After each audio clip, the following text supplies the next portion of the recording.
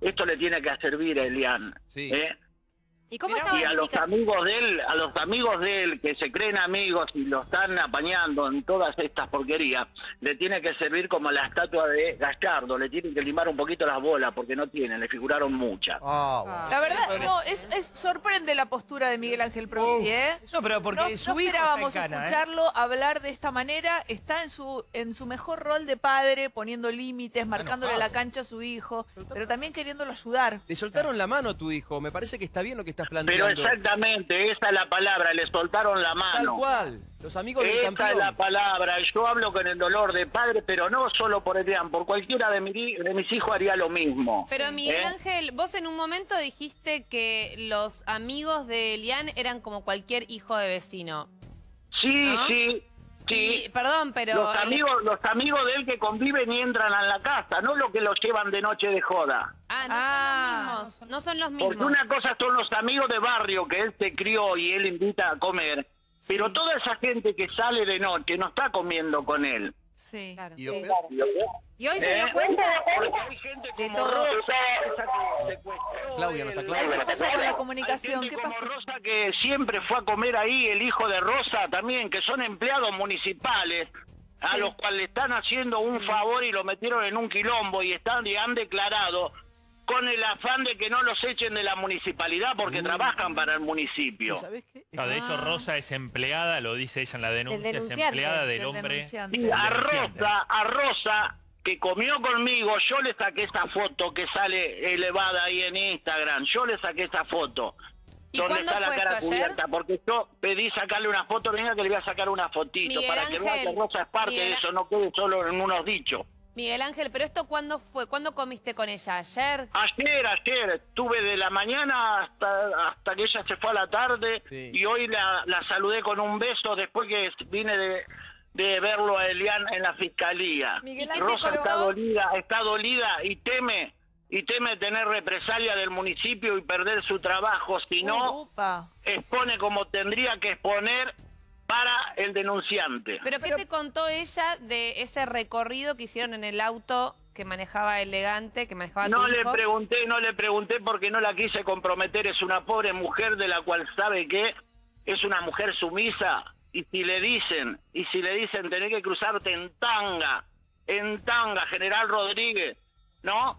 Lo va a hacer con tal de no perder un trabajo. Mire lo que le estoy diciendo. Rosa, Rosa dijo en la justicia, digo para contraponer, ¿no? Contraponer no, porque en, en realidad Miguel no dijo nada de lo que Rosa piensa al respecto, pero en la justicia dijo, aseveró la frase de Elian de preparen la quinta que lleva un regalito y que quiso darnos un susto, no tanto a ella Sí, dijo. como a su jefe en la municipalidad. Bueno, tómelo como un susto, no como un secuestro, ¿me entiende? Bueno, pero Porque bueno. si se lo subió al auto, como dicen todos, es exactamente lo que le estoy diciendo. Lo subió para hablar, no para matarlo. Ahora, Si ¿le no hicieron una apuntado. cama?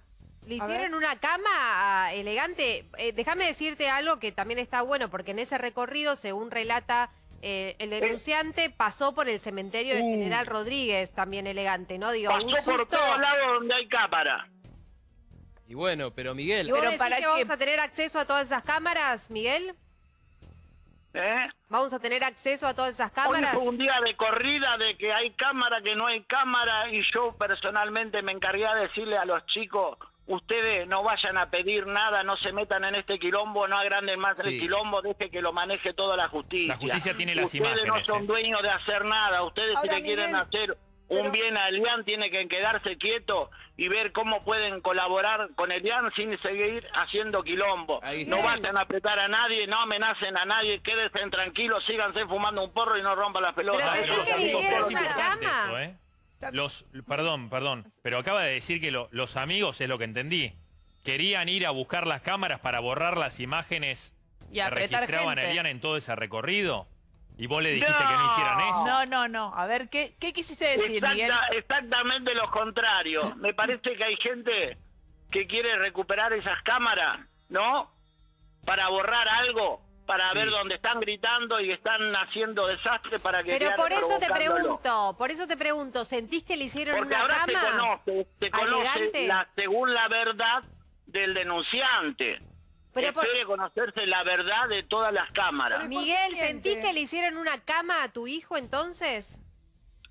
De 10, de 20 personas que hay en un tumulto haciendo lío, las otras no figuran ninguno. ¿Sabe quién figura? La única persona que tenía dinero. No sé qué van a buscar. Opa. Que llegó y no mi- estaba en el grupo y que llegó porque se enteró que había quilombo. Miguel Ángel, pero pará, entonces, también le escuché a la mamá de Elegante que hablaba de que, como dijo recién Cora, le hicieron una cama. ¿Pero por qué? ¿Quién le tiene bronca? Digo, eh, es- a ver, ¿por qué le hacen eso? ¿Para qué? ¿Quién? Eh, eh, vamos a empezar eh, por el comienzo. Sí. A Elian, la gente poderosa de ahí, poderosa no porque tuve poderosa con plata, poderosa porque disponen de ofrecer trabajos y son los famosos Sí. compradores de votos y toda esta, toda esta clase de, de gente, vamos a decirle, Sí. ¿no? Sí, sí, sí. Que se siente con el poder de manejar la vida de los demás. Se siente avasallada lo como surgió este chico. Sí, está Sí. bien, Miguel, Este pero... chico re humilde, yo se lo dije, Elian no hubiese sido elegante si hubiese estado yo, porque cuando la madre me llega a pedir dos mil o tres mil pesos para comprarle un micrófono, lo primero que le iba a contestar es decirle que vaya a trabajar, ¿qué micrófono? Yo soy así. Ahí está. Sí, sí, sí, sí, es, es verdad. Pero Pero Matías, eh, Miguel, una consulta que tiene Yo que soy ver... así. Miguel, a ver, Pasó una chica más linda que usted y me distraje. pero Miguel, Miguel, Me hizo bajar la si, adrenalina. si pasa, Sí, si pasa lamentablemente lo peor y tu hijo está procesado y queda detenido y por varios años, ¿se termina la carrera elegante? No va a llegar a esa instancia. No va a llegar a esa instancia Puede porque- pasar. Eh, no, que por varios años puede estar en preso dos o tres meses o cuatro, porque estos delincuentes que lo están acusando se van a volver a mandar otra macana y ahí va a surgir gente que se van a poner en contra y van a decir, no, este mintió y a mí me pagaron para que Miguel mienta. Ángel, Me pagaron. eh, es- Miguel, ¿estás asustado con que tu hijo tenga que estar detenido mucho tiempo? Ese, eso tendría que, yo digo, tengo un problema en la vida, que el tipo que no, no se asusta de nada es un problema para la persona. No estoy asustado. Eh, me duele en el alma estas situaciones, pero ya no me asusto de nada a esta altura de la vida. eh. Mire que he vivido cosas bravas en mi vida, eh. no soy un nene de pecho, pero siempre con mis principios. y no- Me voy a tomar de algo que dijiste vos, Miguel Ángel. Último minuto, Sí. doctor Cazorla. Me voy a tomar algo que dijiste vos, Miguel Ángel. Las personas que subieron al auto conocían a Elian y lo conocían al otro muchacho. Y del otro muchacho no dieron el nombre. Me voy a quedar con eso. El hijo de Rosa, eh. el Me voy a quedar con eso. Me voy a quedar con eso. Ok. Eh, Miguel, ¿qué, ¿qué sabes a partir de ahora? ¿Vas a poder verlo? ¿Lo viste a tu hijo? Sí, me saludó, me dijo gracias, pa, Sí. y no te chamulles a mi mamá.